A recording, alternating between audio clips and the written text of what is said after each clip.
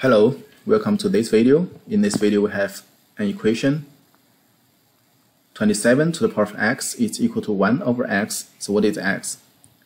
Look at this equation. Do you, do you have a clue for how to solve in this? So we have x here and here on both sides of the uh, equation. So we want to uh, make one side of the equation is constant and we remove x from the left side, then we can take the power of 1 over x for both sides. With this idea, we have 27 to the power of x, then to the power of 1 over x is equal to 1 over x to the power of 1 over x.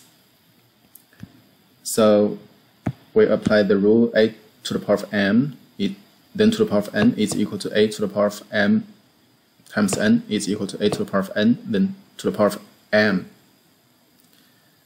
So look at here, the power x and the power 1 over x. So these two x can be cancelled, and we have 27 is equal to 1 over x to the power of 1 over x. Then remember, remember we have 27 is equal to 3 to the power of 3. Yeah, 27 is over it's equal to 3 to the power of 3. So here in this equation we have 3 to the power of 3 is equal to 1 over x to the power of 1 over x. So something to the power of something is equal to something to the power of something.